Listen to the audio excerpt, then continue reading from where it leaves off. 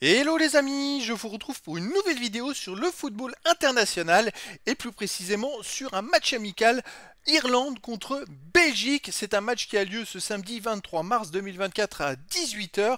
Et donc les amis, eh ben, dans cette vidéo pour vous présenter ce match, je vais revenir sur les 10 derniers résultats de toutes compétitions confondues et les stats pour ces deux équipes. Puis on verra également les compos d'équipe et tactiques éventuelles.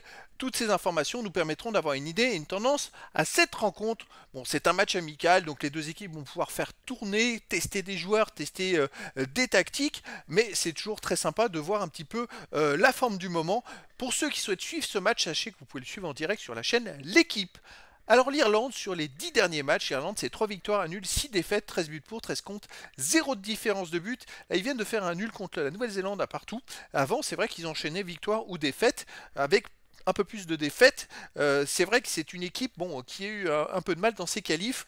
À domicile donc il reste sur ce nul contre la Nouvelle-Zélande, un but partout. Une défaite contre la Grèce 2-0, une défaite contre les Pays-Bas 2-1 une victoire contre Gibraltar 3-0, une défaite contre la France 1-0, une victoire contre la Lettonie 3-2. Malgré tout, euh, de moi ce que j'ai pu voir, parce qu'ils ont affronté la France, c'est une équipe qui est très accrocheuse. En face, il y a la Belgique. Sur les 10 derniers matchs, 8 victoires, 2 nuls, aucune défaite. 26 buts marqués, seulement 6 buts encaissés. Plus 20 de différence de but. La Belgique, c'est l'une des meilleures équipes en Europe, voire au monde en ce moment.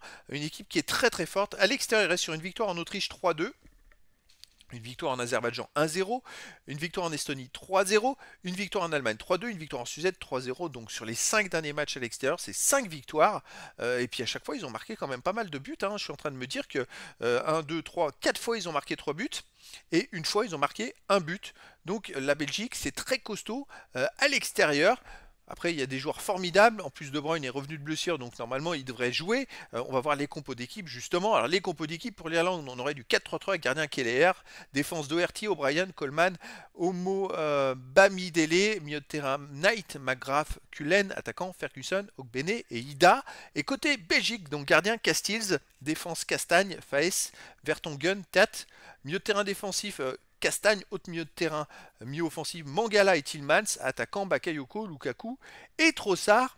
Donc a priori, bon, euh, De Bruyne ne serait peut-être pas là ou peut-être remplaçant, mais c'est vrai qu'après il y a quand même une équipe formidable avec des joueurs vraiment très très forts et qui jouent pour la plupart dans des grands clubs en Europe.